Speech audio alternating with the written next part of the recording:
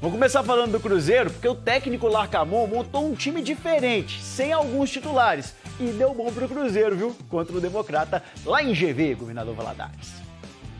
Precisamos aprender com o jogo desta noite. O técnico Nicolás Larcamon já tinha deixado claro o que, que o time deveria fazer após a derrota contra o América na última quinta-feira. A partida contra o Democrata era a oportunidade de mostrar se algumas lições ficaram para o time do Cruzeiro. Um jogo fora de casa, com carinho de jogo em BH. E isso na quantidade de cruzeirenses presentes. Uma oportunidade de fazer bonito para quem vive longe do time do coração. Logo nos primeiros minutos, um cruzamento no capricho do William e a chance para o Dineno transformar a oportunidade em resultado. Aos seis minutos do primeiro tempo, abre o placar a Raposa. Mas muitas vezes a experiência só surge nos momentos de dificuldade. Avançou o chute cruzado. Gol! Pedro Oliveira saiu cara a cara com o Cabral. O desafio agora era continuar construindo em busca de outra oportunidade para sair na frente mais uma vez. Chance de jogadores mostrarem trabalho. Arthur Gomes, pela direita, defendeu o goleiro. Também com quem ainda está buscando uma vaga no grupo. De cabeça tira a defesa João Pedro Luiz Augusto. Ocasião perfeita para quem ficou de fora no último jogo mostrar a diferença que pode fazer. Perna direita, Seivaldo! Para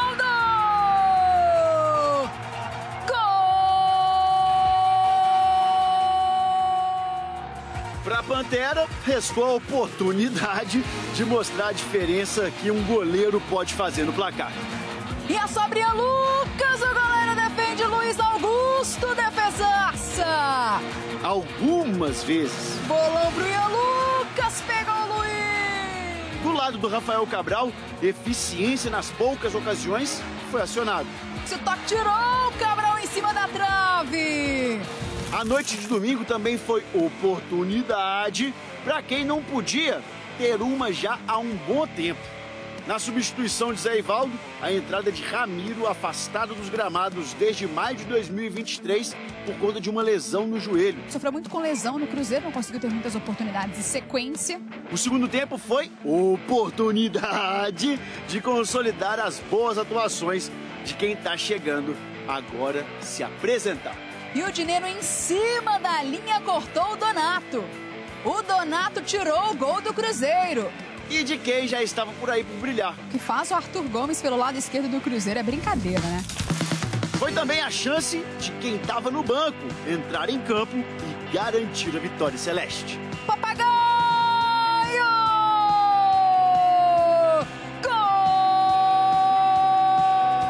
Gol! Oportunidade, né?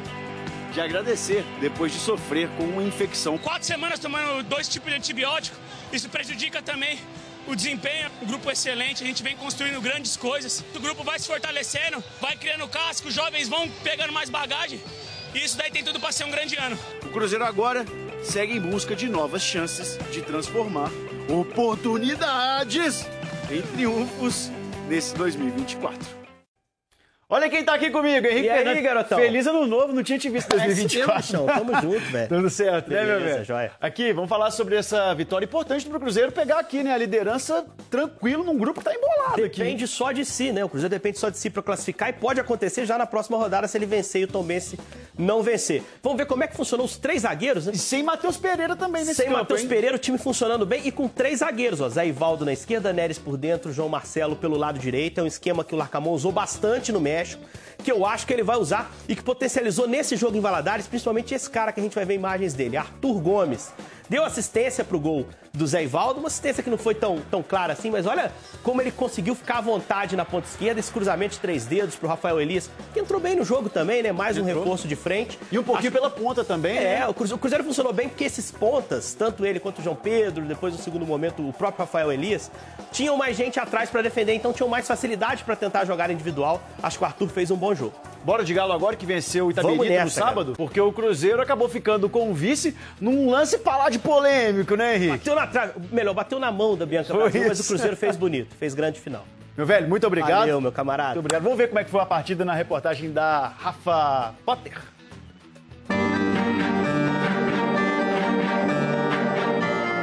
O golaço que em um instante poderia mudar a história do título da Supercopa. Golaço!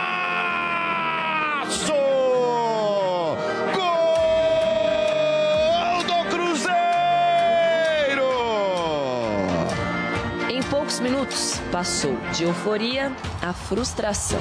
Mão da camisa 10, decisão de não gol. O Corinthians segue vencendo 1 a 0. Mas não dá para resumir a história dessa final a um lance. Corinthians e Cruzeiro protagonizaram um grande jogo e com público recorde na competição. Mais de 33 mil pessoas em Itaquera. No comando da decisão, grandes amigos em lados opostos. Padrinhos de casamento um do outro. Pedi para ele pegar um pouquinho leve comigo, hoje ele nem pegou leve, meteu dois gols ainda, que graças a Deus a, a arbitragem anulou. O primeiro gol anulado foi logo aos seis minutos. No contra-ataque rápido, Bianca Brasil dividiu com a zaga do time paulista e a bola foi parar no fundo do gol. Olha a Bianca pedindo por dentro, tá livre Bianca para bater pro gol! Mas o VAR viu o impedimento no início da jogada. Subiu a bandeira, tava ou não tava? Será que tava ou não tava? Sobe a ansiedade e a expectativa para as atletas de Corinthians e Cruzeiro. Impedimento marcado. Empurradas pela torcida em casa, as Brabas quase abriram o placar com Milene numa cabeçada perigosa. Milene sobre o gol. Na volta do intervalo, o gol veio cedo. Aos dois minutos de jogo, Duda surpreendeu na cobrança de falta. Gol do Corinthians!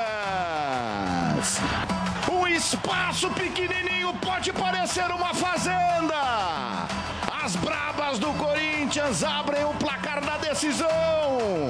Por pouco, Portilho não aumentou o placar. Ficou a goleira Gabi, bateu na trave. A sobra, Jaque penteou, bateu mal. Em uma jogadaça, Bianca Brasil fez o golaço, que poderia levar a decisão do título da Supercopa para os pênaltis. Insistiu, passou, Bianca bateu, golaço!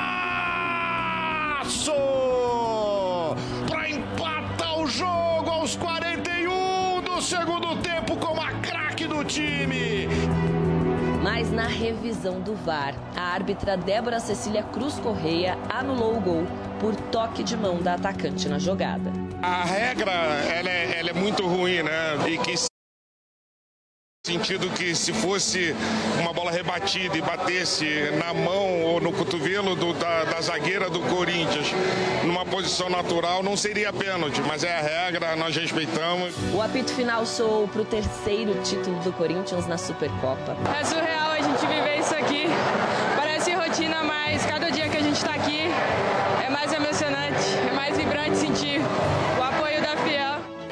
A conquista da Supercopa não veio, mas essa final histórica para o Cruzeiro é resultado de um trabalho que começou lá em 2019. É só o início e eu estou muito orgulhoso do que já estamos é, conseguindo, mas com certeza iremos por muito mais. Pelo que o futebol feminino merece: equilíbrio, competitividade, arte.